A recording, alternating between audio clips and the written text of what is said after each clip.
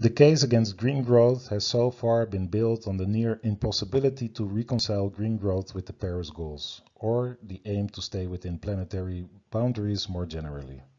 So, how bad is it for happiness if we would give up economic growth? The review of, happiness, of the happiness literature by MacKerron gives some insight into this question and situates the happiness economics literature in relation to the mainstream neoclassical economic school of thought. MacKerron describes how the economics literature moved away from subjective value comparisons during the marginal revolution and started focusing on revealed preferences rather than stated well-being. The subjective well-being literature could have been said to be rediscovered in economics by Richard Easterlin. Easterlin stumbled on a paradox when he explored whether economic growth improves measures of self-reported happiness. In short, he found that happiness rises with income within a country, but that measures of average happiness do not respond to income differences across countries, nor does mean happiness increase with income growth over time. Easterlin, his review, included 29 surveys from 19 countries. Participants in these surveys responded to one of two types of questions. Gallup poll, Likert scale type of questions that asked to rate one's happiness on a scale from very happy, fairly or pretty happy to not very happy. Or Cantril's self-anchoring striving scale, where one determines what constitutes the worst absolute worst and best states imaginable and subsequently rates one current state on this scale. Although most economists do not like self-reported measures much, the self-reported happiness measures generally show reassuringly high correlation with similar assessments by peers and psychologists. This table shows Easterlin's first finding that self-reported happiness rises with income in the United States in 1970. Participants in the highest income category were about twice as likely to rate their happiness as very happy. And also in the third column we see the share of not very happy decrease with income. The following scatter plot from Easterlin illustrates that the average self-reported happiness by country does not respond much to average income. Here, we, here Easterlin combines different studies that use the earlier mentioned Cantril self-anchoring scale. Easterlin showed the limited responsiveness of mean happiness to income growth over time with the help of tables. Instead, here I include a more recent graph from Victor his book, Managing Without Growth. The graph shows that the US income per head of the population has more than doubled between 1945 and 2005, but that the percentage of people that reports being very happy has hardly increased over the same period. The two main explanations for Easterlin's paradox are that people seem to derive utility from status or relative income and hedonic adaptation. Stated concerns relative to some relevant peers can explain the correlation of happiness and income but since rising incomes cannot satisfy everyone's desire for status, we fail to see a relation between income and happiness across time and across countries. The second explanation of hedonic adaptation refers to the idea that one may enjoy an increase in income temporarily, but that happiness returns to some baseline life satisfaction once one becomes accustomed to the no longer so new higher income.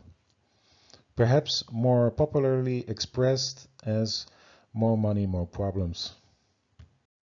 Here we see a graph from Inglehart and colleagues that show a measure of subjective well-being and GDP per capita for a large number of countries. The figure shows the importance of culture in happiness cross-country comparisons, as was mentioned by MacKerron. For similar income levels, Latin Americans seem happier than residents of former communist countries. The graph also suggests some logarithmic relationship between social well-being and GDP per capita. There is some debate around the question whether logarithmic relation between happiness and income remains after controlling for other covariates of happiness. My reading of the literature is that subsequent studies have mostly confirmed the existence of the original paradox. MacKerron his review highlighted that there are various happiness measures and that there may be some difference between affective experience type of happiness responses and evaluative life satisfaction questions. Perhaps the study by Knabe and colleagues illustrates this, this difference best. Knabe and colleagues asked participants to rate how happy they felt at different moments during the day in line with the experience sampling method and the authors asked how satisfied respondents were with their life in general. Knabe and colleagues, their title sums up their study into the well-being of unemployed. Dissatisfied with life, but having a good day. The unemployed reported more positive daily experiences, even when only comparing their assessment of similar activities. But they also reported being less satisfied with life. Another happiness study that I like to highlight here is by Kumar and Gilovich.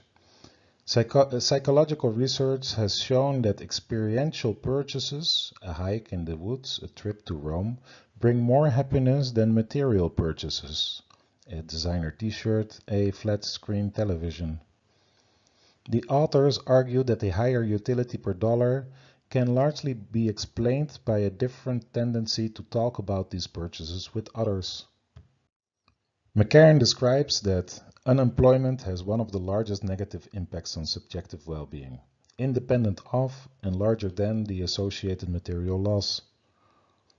To compensate for lost employment, some have argued for a robot tax. Even those employed often lack conditions for satisfaction from their work. Using a recent survey amongst 100,000 respondents from nearly 50 countries, Dur and Van Lent find that approximately 8% of workers perceive their jobs as socially useless, while Another 17% are doubtful about the usefulness of their job. A sense of purpose and meaningful work seem important for happiness, as was also recognized by the Society Felix Meritis. For a more extensive treatment of different notions of work and labor or their different roles in a post-capitalistic society, I refer the interested readers to Tim Jackson's excellent book Post-Growth, Life After Capitalism. The book also contains an introduction into the literature on the experience of flow and its contribution to happiness. The term flow has been introduced by Mihaly Csikszentmihalyi to describe an optimal state of mind to complete a certain task, whether that be some musical performance, sports, or maybe even writing your essays. Jackson writes about flow. People describe a sense of wonder, a connectedness to the world, a feeling of satisfaction that goes beyond happiness or the gratification of pleasure. Even asking the question whether you are happy during this experience makes little sense. Similarly, there seem to be aspects of play or games that can trick us in enjoying activities more than otherwise. The happiness literature has grown considerably, and the application of alternatives to GDP are increasingly often being considered by political leaders. There is, of course, the Gross National Happiness Index of Bhutan, and recently countries like Iceland, New Zealand, and Scotland also expressed that they will give more prominence to happiness measures in the evaluation of public policy. Here we see another figure from Victor that much resembled the decoupling between economic growth and happiness. The difference is that this picture shows the genuine progress index instead of percentage of people that reports being very happy. The genuine progress index is equal to the GDP plus voluntary work, including some estimate for housework, minus some indices for crime, pollution, inequality, and family breakdowns. So, if economic growth is no longer benefiting society, why do we still pursue it?